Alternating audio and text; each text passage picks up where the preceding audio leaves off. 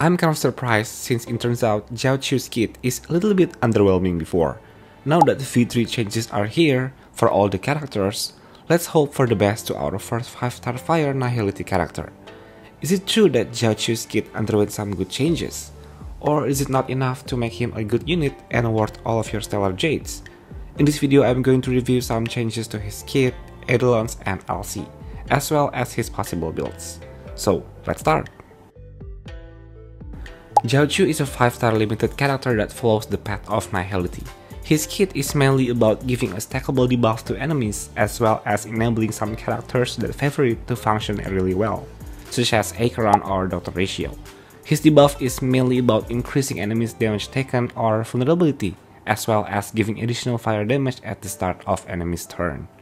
Starting from his skill, there's nothing special that changed. He still deals fire damage to 3 enemies, only his multiplier is lower. It seems that Hoyo don't want him to deal a lot of damage. And then his ultimate is also the same. He will deal fire damage to enemies, sets the Ashen Rose stack to the highest numbers in the battlefield, and creates a field that makes enemy increase their damage taken from the ultimate move. The only difference is that his multiplier is lowered once again. You may probably haven't seen it before, but there's a showcase of Jiaoqiu using the Hyper Carry setup, and it turns out he is not bad. Having a low energy cost making him able to spam his ultimate, while the damage also benefits from his own Ashen Rose stacks. This might be the reason why the nerfs occurred and Hoyo Sim don't want Jiaoqiu exceed his role as being a debuffer. Now moving on to his A2 trace. The old version is, when the field from his ultimate active, the enemy effect hit rate is reduced to 30%. At the start of their turn, the enemy is also inflicted with fire damage. As for the new A2, that no longer happen and instead, Jiaoqiu will recover 15 energy at the start of the battle. So yes, the additional fire damage is now gone, but worry not, there are also some changes to his talent. The previous description is the same, but there is additional information about his new talent.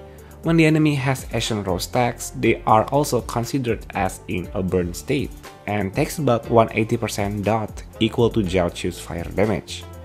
This is actually an improvement to his kit since previously he was so restricted to Acheron Team Comp only, as you must unlock his Eidolon 2 to make him a reliable dot enabler and make his team comp more flexible.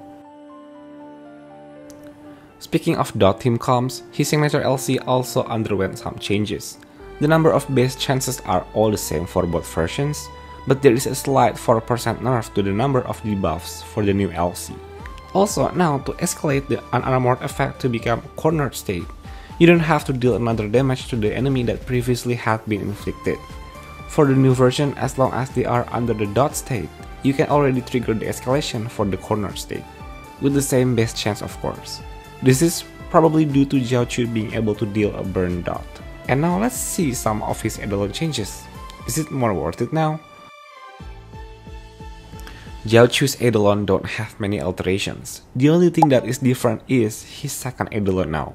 The old version was making him a unit that was able to become a burn dot enabler, but since he can do it at E0 now, his new Eidolon 2 will increase his burn damage multiplier by 300%. So now he can have up to 720 dot multiplier, since at level 10 he has 180%. If this is how it works, then that's a good Eidolon for him. Well, that's all from his Eidolons. Since most of them are still the same, this makes his E2 or his E6 the best Eidolon to have. Well, if you really want to vertically invest in Jiaoqiu. But 6 Eidolon might sound too much and is realistic only for whales, so I guess his E2 is more recommended, at least from my own opinion. With this, now he is going to contribute a lot of damage in the dot team comps, as well as faster in stacking up his Ashen Rose from his E1. And now we are into the most common question when a new character just launched. Is it better to pull for his signature or get his first Eidolon? In my honest opinion, I think you should go for his signature instead. Of course, his first Eidolon lets your DPS do even more 48% damage when attacking enemies that are inflicted with Ashen Rose stack. But his LC here helps you to facilitate in building for Jiaoqiu, since it offers 60% additional effect hit rate. Both Jiaoqiu's ultimate and LC has a 60% base chance, so in order to land a guaranteed debuff to a higher level enemy, whose effect resistance is also high. You need around 170-ish percent of effect hit rate, and using his signature could somehow help that. I'm going to test a damage comparison by using Acheron with both Jiaoqiu E1 and S1, together with Pela as well. And the result turns out not really far and the difference is only 1.3%. With E1 S0 deals the highest damage. Always remember to take into consideration that the chance of winning for LC is higher than pulling for any character's Eidolons. How much is his personal burn damage? Since he can be a dot enabler in certain teams now, this makes a 4-star LC like Eyes of the Prey works well with him, where previously he only benefited from the effect hit rate stats. I'm going to use this LC as an example to calculate his personal burn damage, and assuming he has a total attack of 1993 that excludes from the relics and planar, and his effect hit rate attack conversion from his trees. This is his personal burn damage. This number already includes his maximum Ashen Rose stacks.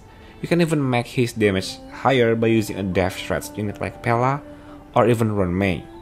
So what do you guys think about his personal damage? Is it better than Guinaifen's? Let me know in the comments.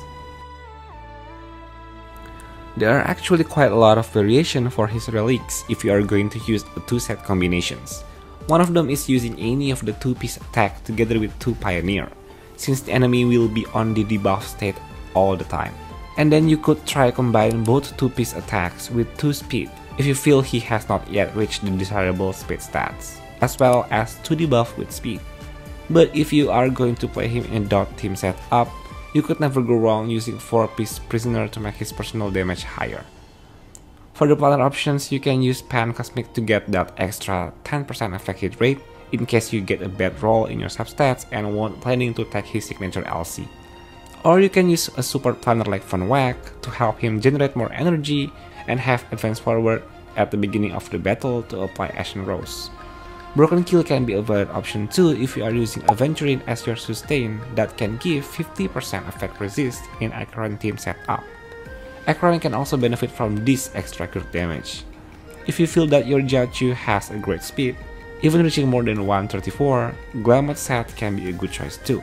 So for Jiaoqiu, effect hit rate on the body piece is a must, and then you have to use speed in his boots to apply more Ashen Rose stacks. You can use either fire damage or attack in his planar, but since he already gains a lot of attack with his traces, so fire damage boost will do. And to help him to do 100% ultimate uptime, use energy on his robe. The best 5 star LC for him is, no doubt, his own signature. It gives 60% additional effect hit rate that can make building him a lot easier. And by using this LC, the total vulnerability that he can give to the enemy is 79% that already includes an increase in ultimate damage taken. Aside from that, LCs like Incessant Rain can also benefit Jiaoqiu since it has 24% effect hit rate and more 12% increased damage taken to enemy. Reforged Remembrance is surprisingly a valid option too. You get a 40% effect hit rate and more burn out damage. Though you cannot maximize this passive to its full potential, but still can be used. In the Name of the World might work too, if none of your characters wear this, you can use it to Jiaoqiu. For 4 star options, I think the best one is before the tutorial mission. It's free from the past events with the maximum refinement.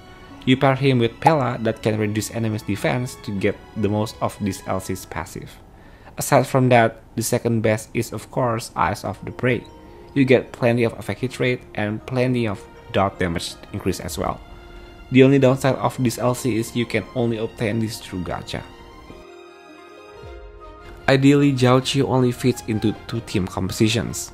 The first one is, of course, everybody knew it already, Acheron team comps.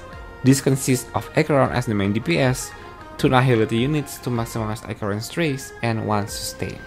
And the other team is Dot, since he can be a Dot enabler too now. Kafka is a must to force proc the other dots, Black Swan for the second dot DPS as well as to give Death Shred, and then Huohuo can be your sustain or even other healers. But other DPS like Dr. Ratio or even Argenti can still synergize with Jiaoqiu, even though they are not the best teammate for him. Dot Ratio being a DPS that favors debuff can benefit from the Ashen Rose stacks, and Argenti can abuse the ultimate damage vulnerability. But still, I think Jiaoqiu's best team will be the two variations I mentioned before. If you have any other team comp variations, feel free to let me know in the comments. So should you pull for him, or he is meh character that you should skip? Not gonna lie, Jiaoqiu's existence is purely for Acheron, even though now he gains access to other team comps. If your Acheron team's roster is just doing fine, she can cast her ult just as fast as you want, not to mention her insane damage can already satisfy you, then I think Jiaoqiu is not needed. Especially to some of the players that already invest in Acheron's second Eidolon, pulling for Jiaoqiu is useless. Well except if you like his design or something. Acheron is already amazing character, adding Jiaoqiu to her team comp is good, but not needed. As for dot team comps, I think using units like Ruan Mei is still the best. What concerns me the most is that he lacks a gimmick. Just imagine if he could at least do some healing, even though it's not a significant one. A current team like this could be viable, and of course a dot team comps like this could be insane too. So yeah, overall he's not a must pull, but if you spend your jets on his banner, it's not something that you will regret later on. So that's all from my Jiaoqiu changes and possible builds. If there is anything missing, please add it in the comment section and I also want to know your opinion about his changes. So share your thoughts down below. If you like this video, please help this channel by giving a thumbs up and subscribing. Soon I will upload about March changes, so stay tuned. See you humans in the next video.